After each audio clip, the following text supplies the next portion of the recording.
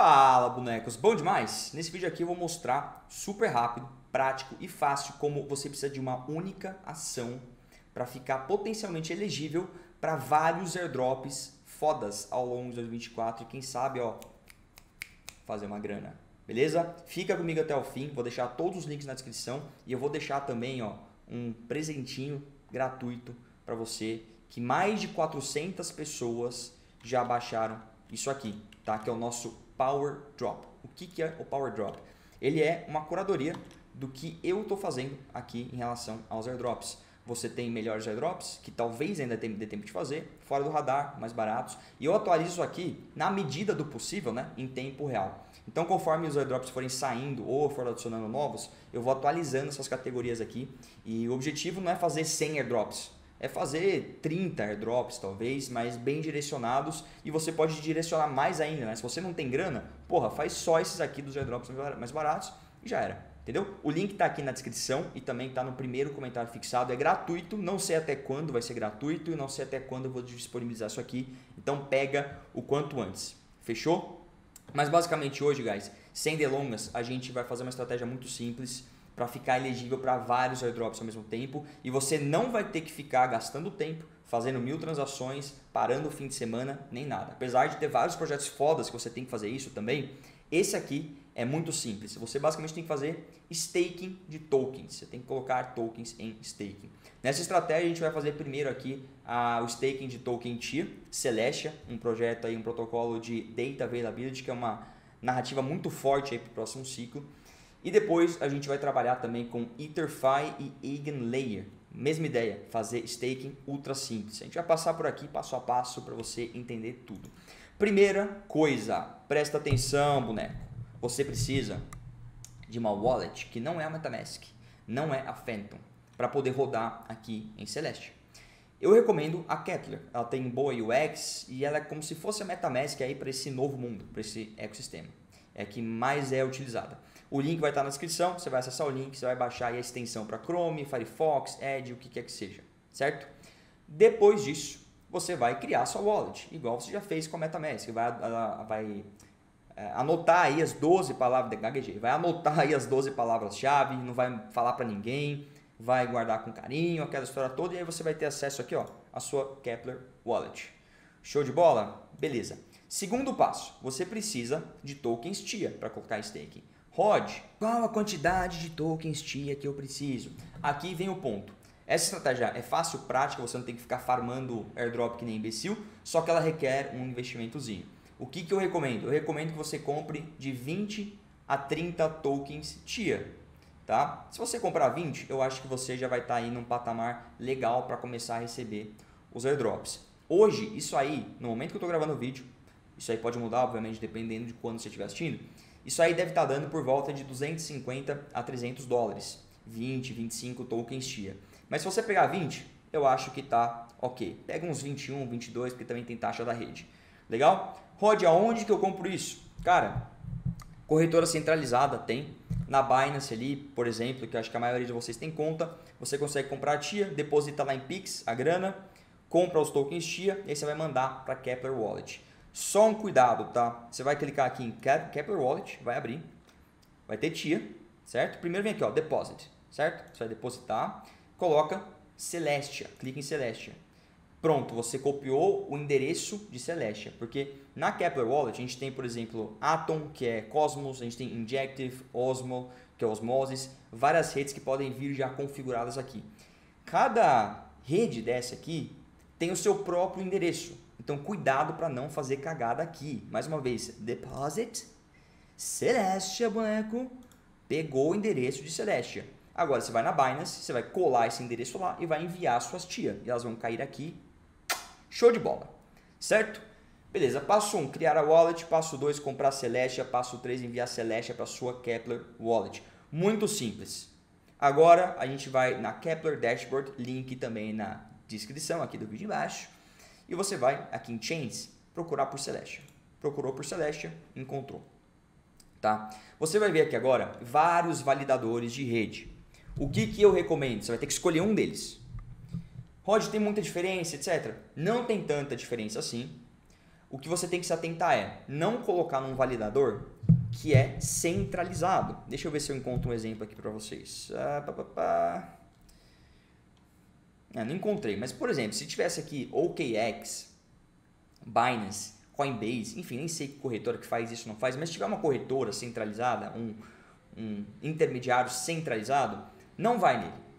Tá? Outra recomendação, pega ali do vigésimo lugar para baixo, certo? Eu tô usando esse aqui, que é o Stakecito, que ele é um youtuber da gringa que eu costumo acompanhar ele, gosto bastante, e eu tô usando o validador dele.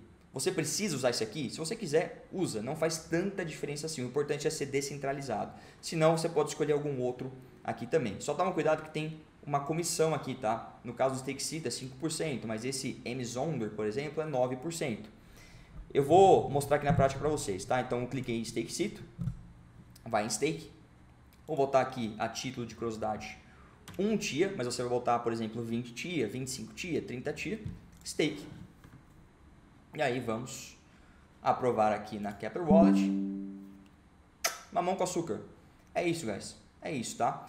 E só para você ter uma ideia, já tem alguns projetos que já tiraram o, o snapshot, né? já tiraram a fotinho de quem tinha TIA em staking para dropar token. Isso é importante mencionar, tá? Essa estratégia já está rodando aí pelo menos um mês, um mês e meio. Eu tenho staking de TIA há pelo menos um mês e meio, tá? E já tem alguns projetos que já tiraram a foto. E se você, por exemplo, fizer staking hoje ou amanhã, provavelmente você não vai pegar esses drops que já foram confirmados. Só que eu acredito que ainda vão surgir vários airdrops para TIA. Eu acredito que ainda vale a pena você fazer staking, apesar de você já ter perdido algum bondezinho aí. O bonde já passou um pouco e já surgiram algumas coisas. Por exemplo, tá? Para você ver como essa, essa estratégia funciona. Saga, esse token aqui, Saga, já confirmou que quem tem TIA em staking vai receber tokens Saga. Mesma coisa aqui para esse HYPR, esse Hyper. Né? A gente também tem a Outlayer, que é um projeto bom, que vai dropar aí para TIA. A gente tem o MOV, a gente tem o... Não, o A, o M é pro Atom, tá? Então esses daqui, basicamente, esses que eu falei, esses aqui de cima, já foram confirmados para quem fez stake de TIA. Na prática, pense o seguinte, você foi lá, colocou TIA em staking, dormiu, tomou seu cafezinho da manhã, almoçou, passou um dia, passou uma semana, passou duas semanas, você não fez mais nada e pá, pronto, é isso. Vai sair um anúncio de um projeto dropando token para você, simplesmente porque você há três semanas atrás fez staking de TIA. Essa é a ideia, por isso que a estratégia é prática, fácil e dá resultado, certo? Um ponto importante que eu preciso mencionar antes da gente avançar, mas fica comigo, Tafim, que tem outra estratégia para você também pegar vários airdrops. Não é porque esses vários projetos aqui estão dropando token para você que você tem que pegar tudo isso aqui. Principalmente se os caras mandarem um link e falarem o seguinte, ó, oh, vem aqui nesse link, conecta sua wallet, faz o claim. É principalmente nesse momento que você tem que tomar cuidado. Não é para você sair conectando em qualquer site, não é todo o projeto desse aqui que vai dar dinheiro. Pode ser que 90% disso aqui, que eu estou mostrando para vocês, não dê nem 10 dólares. Nem vale a pena pegar, nem vale a pena vender. Foda-se, entendeu?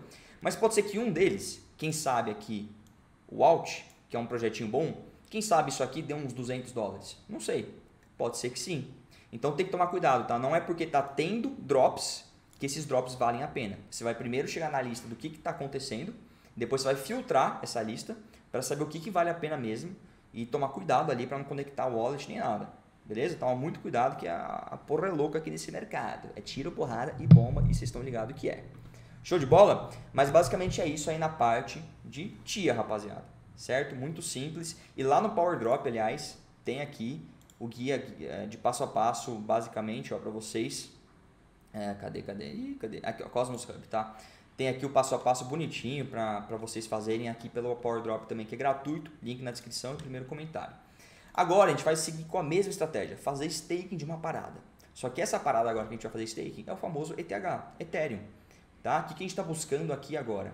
Ó, só no que eu falei para vocês de staking de tier, já tem o drop aqui de basicamente quatro tokens. Quatro tokens aqui que vão dropar para tier. E aliás, eu nem mencionei, mas tem o Dimension, que é o DYM.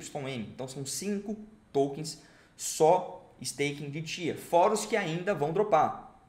Vão ter novos projetos dropando. Então isso aí pode chegar a 7, 8 ou 9. Eu prometi 10 para você nesse vídeo, certo?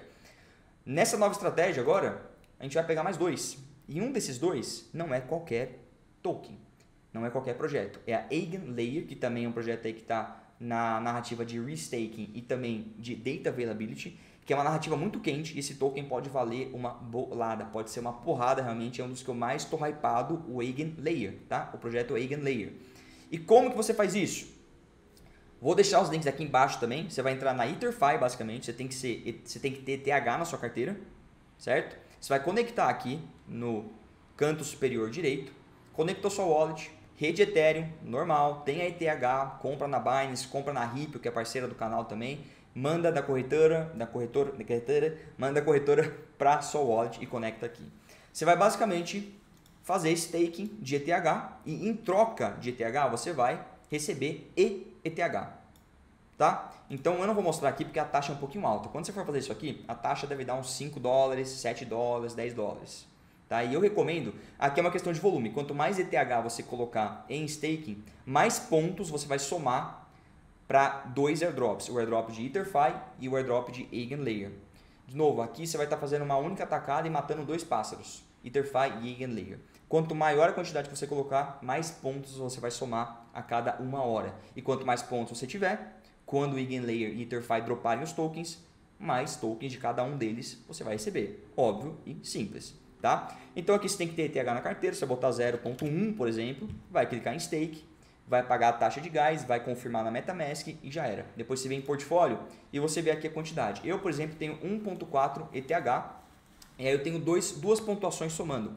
A pontuação de lealdade da EtherFi e a pontuação de lealdade da Eigenlayer certo? São essas pontuações que estão somando a cada hora para que quando eles tirarem a fotinho, eles vão ver quantos pontos eu tenho e eu vou ter a distribuição dos tokens aí dos dois projetos, tá? Então, basicamente até agora, somando o staking de TIA com esses dois tokens aqui através de TerFi e Eigenlayer, a gente já falou aí de praticamente oito airdrops que você vai ter direito, que você teria direito, né? Só por fazer essa estratégia, fora os que ainda vão surgir de tia, que eu já falei para vocês, não vou ficar repetindo. É, e também vale reforçar, né? Esses que já saíram, provavelmente você perdeu a onda. Né? Não tenho certeza, né? Pode ser que você até pegue um desses aqui, mas no geral, essa onda aqui desses já passou. Mas vão vir novos tokens que vão dropar para tia. Eu tenho quase certeza, tá? Tenho convicção aí que vai acontecer. E aí, basicamente, Interfy você vê os pontos acumulando, mesma coisa, é só sentar, relaxar, ficar tranquilo e ver aqui com o passar do tempo que, que você é, pode fazer também? Você pode utilizar uma pendle da vida e você pode ganhar um boost, né? Você pode ganhar duas vezes mais pontos em lealdade de EtherFi. Só que você está adicionando uma camada de risco ao fazer isso, tá? Somando um contrato inteligente em cima de outro, em cima de outro, tá virando um Lego, uma montanha de Lego. Se dá merda em alguma coisa, fode tudo. Basicamente é isso, tá? Eu não faço aqui a Pendle, mas ela tá gerando, tá tendo um rendimento legal, tá? Porque ao fazer stake você ainda rende os seus tokens mas adiciona risco e eu decidi não fazer, decidi parar por aqui. Foi isso o que eu fiz. O que é importante você saber, tá? Disso aqui que eu estou mostrando para você. Quando você faz staking de ETH aqui, você não vai conseguir a liquidez imediata dos seus ETH. Então, se você quiser essa grana de volta, até você trocar EETH por ETH, fazer o caminho inverso, você vai ter que esperar vários dias para poder receber o token ETH de volta. Ou seja, o seu dinheiro vai ficar travado por um tempo aqui na plataforma mesmo quando você solicitar o saque. Tem um período ali de liquidez. Mesma coisa na Celestia, tá? Quando você faz staking de Celestia, dependendo do validador, às vezes quando você solicitar o saque de Celestia, você só vai receber 20 dias depois, mais de duas semanas depois. E nesse meio tempo, o preço do token Celestia pode cair.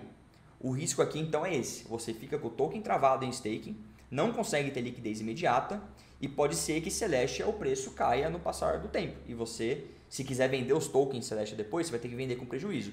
Por que, que eu não me preocupo tanto com isso? Porque token Celestia é um token que eu confio muito aí para o médio prazo. Eu confio muito aí para pelo menos 10 é, meses a um ano. Eu acredito que vai manter e quem sabe até subir.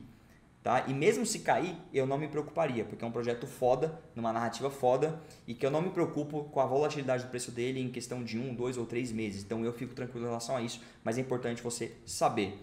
Guys, foi isso. Peguem o Power Drop aqui embaixo. Com essa estratégia é muito fácil. Vocês estacionam a grana de vocês, só requer investimento e vocês conseguem aí basicamente ter acesso a potenciais 10, 12 ou quem sabe mais airdrops ao longo de 2024. Se esse vídeo ajudou, eu só te peço o seguinte: deixa o like, compartilha com alguém que precisa saber, comenta aqui se você quer um projeto que eu fale sobre airdrop. E guys, só para avisar, tá? Eu tô mudando de conta de Instagram, mudando, mudando, tá? Minha conta atual é arroba. Eu tô mudando para uma conta que é o Rod Cassioli. Daqui a alguns meses eu vou estar tá nesse Instagram novo, o Rod Cassioli, tudo junto. Me segue lá, que eu também vou começar a falar de várias coisas por lá. Tamo junto, meus queridos. Um grande beijo e a gente se vê por aí. Até mais.